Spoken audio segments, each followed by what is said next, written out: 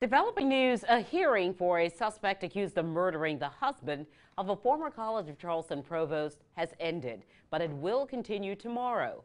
News 2's Forrest Tucker was in the courtroom as the judge determines if the suspect should be tried as an adult or a minor.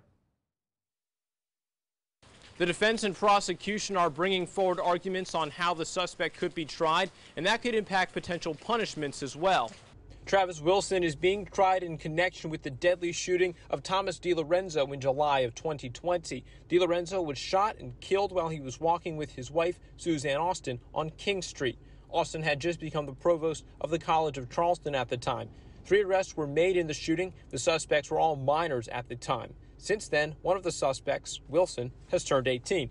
The decision the judge is weighing today is whether to try him in family court if he's ruled to stand trial as a minor, or general sessions court if he's ruled an adult. I've been waiting for the probable cause portion of the hearing to start, which will weigh on the decision. The judge has to investigate the matter before making the decision on how to try Wilson. This is a key step in the justice system to protect the rights of juveniles. There have been other portions of the hearing that we are not allowed to witness today. Wilson is charged with murder, armed robbery with a deadly weapon, and third degree assault and battery. He's been held for nearly two years, awaiting trial and adjudication. This is a developing story. We'll have the latest for you on air and online. That's on counton2.com. Reporting in downtown Charleston, I'm Forrest Tucker. Count on 2.